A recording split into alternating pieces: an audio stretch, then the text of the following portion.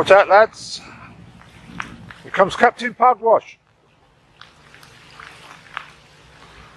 You might need to go around that.